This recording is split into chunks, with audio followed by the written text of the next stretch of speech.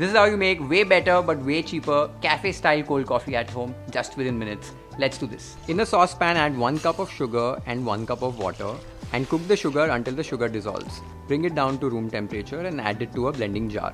Now, if you're looking for that coffee shop like tongue coating consistency, they add a secret ingredient into it which is called xanthan gum. Just add a teaspoon of it into the sugar syrup, add a few drops of vanilla essence and blend it together for a few seconds. Our cold coffee sugar syrup base is ready. To prepare the cold coffee, add some ice cubes, 2 tablespoons of the sugar syrup base, half cup milk, 1 tablespoon instant coffee, 2 tablespoons of chocolate chips, 3 to 4 chocolate chip cookies, and 2 tablespoons of your favorite chocolate spread. Now blend everything together until completely smooth. The idea here is to blend it very quickly within a few seconds so that the ice does not melt. Just look at that texture. Garnish with some whipping cream and toppings of your choice. Our homemade chocolate chip frappe is ready. Wow, this is so good.